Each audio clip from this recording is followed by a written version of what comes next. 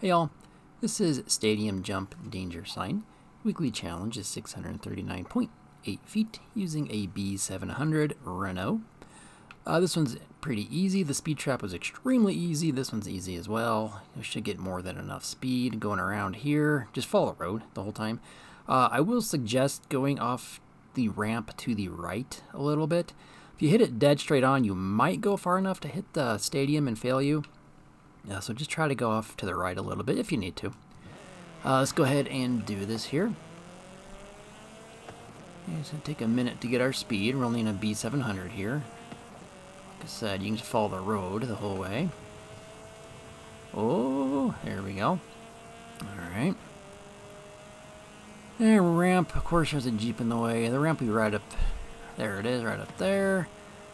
And like I said, just kind of go off to the right if you can the little extra space. We still might hit the stadium and fail, but nope, we're okay. 733.80 or something like that. Either way, plenty of distance. All right, thanks, guys. See you all later.